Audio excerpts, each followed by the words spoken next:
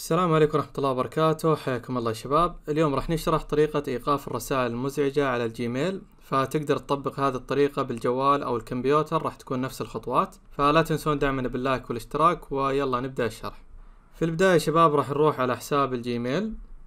فهنا راح تظهر عندك جميع الرسائل اللي وصلتك من المواقع اللي سجلت فيها أو اشتركت فيها سابقا. ولكن الآن نبغى نلغي الاشتراك ونلغي استقبال هذه الرسائل.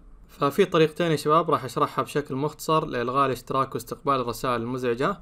فالطريقة الأولى تضغطون على صاحب الرسالة بشكل مطول فبعد كذا تضغطون على الثلاث نقاط اللي فوق على اليسار وبعدين تضغطون على الخيار الأخير اللي هو الإبلاغ عن الرسائل الغير مرغوب فيها.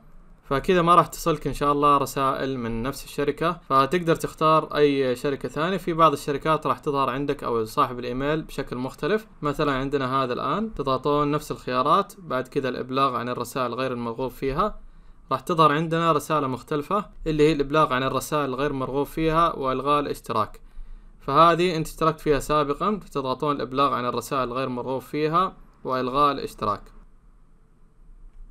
فهذه يا شباب كانت الطريقة الأولى لإلغاء استقبال الرسائل من هذا الموقع. الطريقة الثانية يا شباب بكل اختصار تدخلون على أي رسالة وصلتكم مثلا هذا الموقع الآن وتنزلون تحت آخر شيء راح تحصلون unsubscribe أو إلغاء الاشتراك. فهذه موجودة في أغلب المواقع أو الرسائل اللي تجيكم موجود فيها هذا الخيار اللي هو unsubscribe. تضغطون عليه راح يوديكم على صفحة الموقع فتضغطون إلغاء الاشتراك. فكذا الآن يا شباب ما راح تصلكم أي رسائل من نفس الموقع مرة ثانية. فهذه يا شباب الطريقتين اللي شرحتها طريقتين فعالة وإن شاء الله راح تفيدكم. أتمنى أنه كان شرح بسيط ومختصر. لا تنسون دعمنا باللايك والاشتراك. نشوفكم مقاطع ثانية. مع السلامة.